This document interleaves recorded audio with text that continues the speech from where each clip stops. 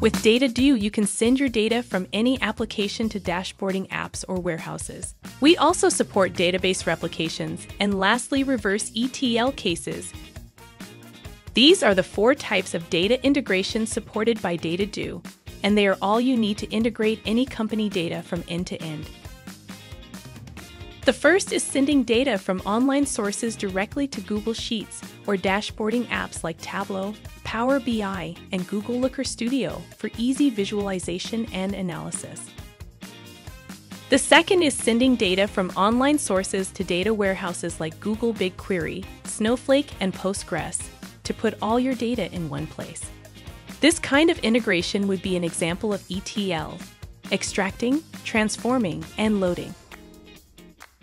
The third is connecting two databases to replicate, migrate, and distribute data across your organization. The fourth type of integration is sending data from warehouses back into apps. These apps could be payment gateways like Stripe, CRMs like HubSpot, marketing platforms like Google Ads, or any other operational tool. This integration type is an example of reverse ETL. If your company has its own data product, Check out our video on headless data integration to see how you can integrate the product directly with the Dataddo API. Thanks for joining us today.